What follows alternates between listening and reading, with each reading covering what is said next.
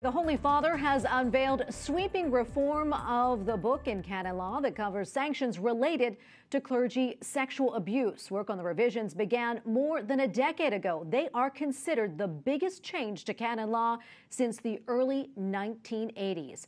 Joining us now is Father James Bradley, Assistant Professor of Canon Law at the Catholic University of America. Father Bradley, thank you so much for your time today. We really appreciate it. Uh, uh, first off, tell us about the significance of the new laws and why was it necessary to make such sweeping changes to this part of church law? Well, in modern times, there have been two codes of canon law for the Latin Church. The first was in 1917, and the second revised after the Second Vatican Council in 1983. And the 1983 code contains seven books, and Book Six, as you said, is on the penal law of the Church.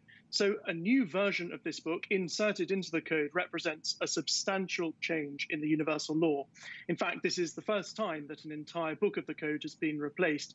So, from an historical point of view, the new book six is very significant indeed. Now, having said that, the content of the new law is also very important, and the revised legislation will, in Pope Francis's own words, provide a more agile, healthy, and corrective instrument in order to prevent greater evils and, most importantly, to help heal the wounds caused by human weakness.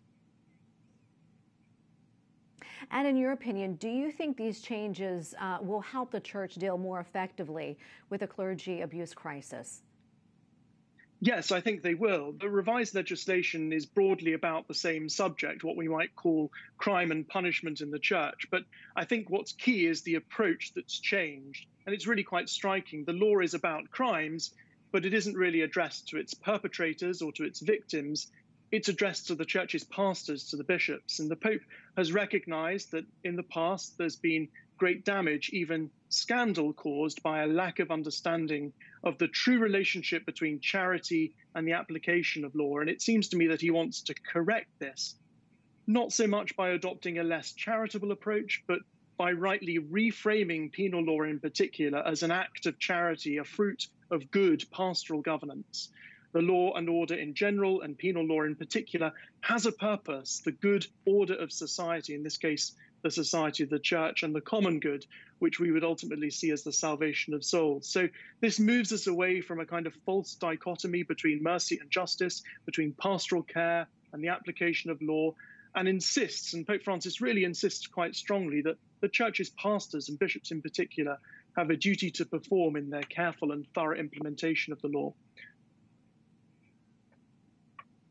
And what has been the reaction from church leaders as well as lay people? Well, as I say, one of the key changes in all of this is a, is a change of mindset. No longer can it be said that being relaxed about the implementation of penal law is a kindness or being more pastoral.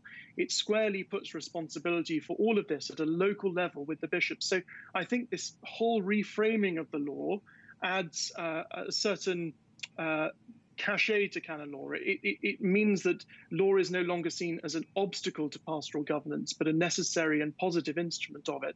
And I think that's the way in which this will be seen as, as time progresses, as something which, in a sense, reframes law and gives it a more positive force in the life of the church. And Father, we have about a minute or so left, but, but I'm curious, what comes next and when exactly do these new laws take effect? Well, first of all, they have to come into effect. So they come into effect on the 8th of December, the Feast of the Immaculate Conception, and there's going to be questions and clarifications between now and then. But I think the most important thing that comes next is the implementation of the law. These laws are not going to be worth the paper they're written on if they're not taken up and implemented by the church's pastors. So there are a lot of opportunities here for good governance and for helping to heal the wounds of the past. But the work really begins when we start seeing these laws put into practice.